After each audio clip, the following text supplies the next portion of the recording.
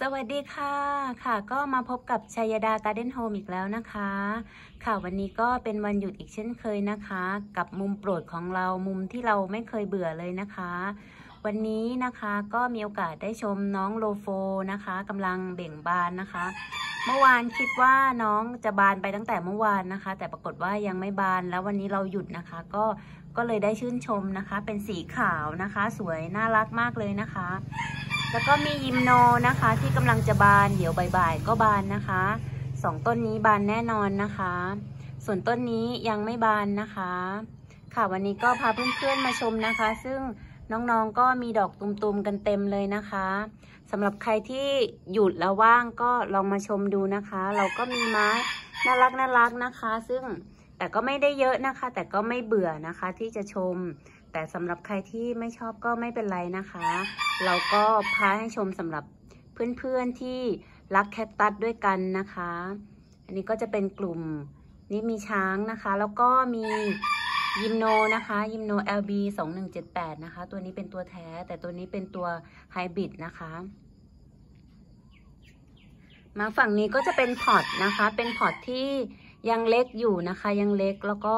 สำหรับเราก็ชอบชอบสายลุ้นนะคะ ตรงนี้ก็มีมีดอกตูมนะคะ ยิมโนเขียวธรรมดานะคะ จริงๆเป็นคนที่ชอบยิมโนเขียว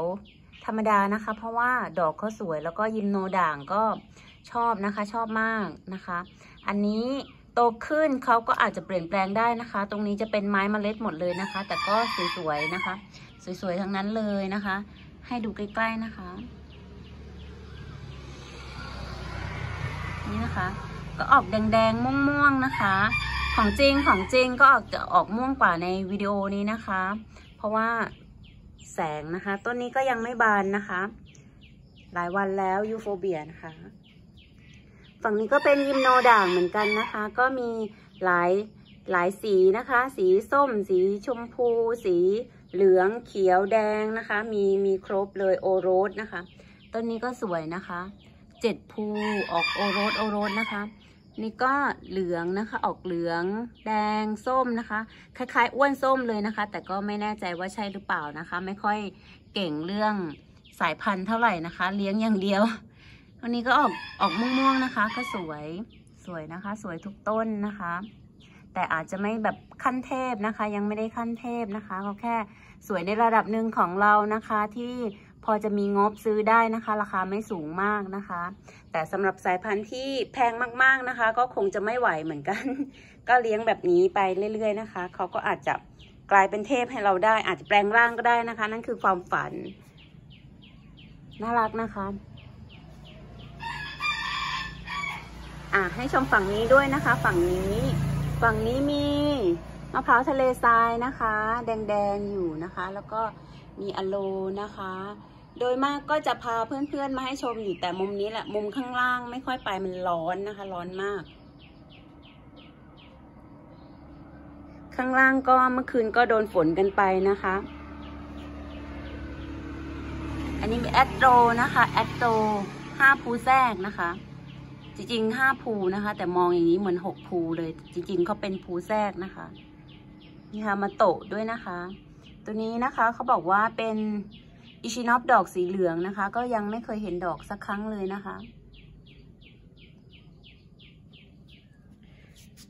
อ่าเอาใจสาย gymno ด่างหน่อยนะคะ กลับมาชมใน pot นี้นะคะ สวยจริง ๆ สวยมากๆ แต่ไม่ได้ขายนะคะ ไม่ได้ขาย เพราะว่าน้องยังเล็กอยู่นะคะ แต่โตขึ้นก็อาจจะเอามาแบ่งขายต้นนี้สวยนะคะ มีพูแทรกด้วยเหลืองๆเขียวๆนะคะ ตัวนี้เป็นไฮบริดนะคะ pot เหล่านี้เป็น gymno hybrid นะคะ ต้นนี้ก็มีแววสวยนะคะ คือจริงๆ ทุกต้นมีแววสวยหมดเลยนะคะ ต้นนี้ก็สวย เขาบอกว่าเลี้ยงยิมโนด่างนะคะ ไม่จำเป็นต้องให้สวยตั้งแต่เล็ก ๆนะคะ เลี้ยงไปแล้วก็ค่อยๆลุ้นเขาก็จะเปลี่ยนแปลง เปลี่ยนไปเรื่อย ๆ นะคะ วันหนึ่งต้นที่เขียวล้วนก็อาจจะด่างก็ได้ ต้นที่ ด่างมาเต็มแล้วพอโตขึ้นก็อาจจะกลายเป็นเขียวก็ได้นะ ต้นนี้สวยนะคะ เราชอบมากต้นนี้ชัยดาชอบมากนะคะ สวย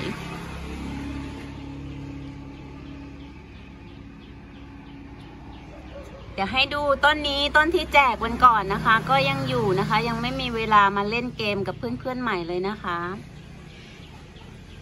เดี๋ยวพอสักพักนึงพอสายๆนะคะเดี๋ยวให้ดูต้นนี้นะคะ ต้นนี้สวยมากนะคะ เป็นไฮบริดเหมือนกันนะคะ ด่างมาครบทุกภูแล้วนะคะ แสงมาสวยสวยไหมคะ สวยมากเลยเห็นไหมคะบางก็ถี่ๆนะคะ ภูก็บางๆนะคะ สวย แมมชูแมนต้นนี้ก็สวยดอกใหญ่ ดอกสวยมาก ตอนนี้เริ่มสายขึ้นมาหน่อยดอก ดอกของน้องโลโฟกับยิมโนก็เริ่มบานนะคะ ค่ะสำหรับวันนี้ก็ขอลาเพื่อนๆไปเพียงเท่านี้ก่อนนะคะ แล้วก็ค่อยกลับมาพบกันใหม่ในคลิปหน้านะคะสำหรับวันนี้ สวัสดีค่ะ บ๊ายบายค่ะ